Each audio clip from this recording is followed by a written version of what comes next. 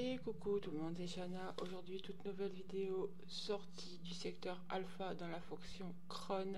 Localiser les deux caches d'escalier dans la DRD et scanner chaque sortie à l'aide d'un compteur GGR. Donc le défi en soi, il est assez simple. Il faudra juste un compteur GGR rentrer dans le bunker par l'oasis et localiser les deux cages d'escalier. Je vous montre tout ça en image.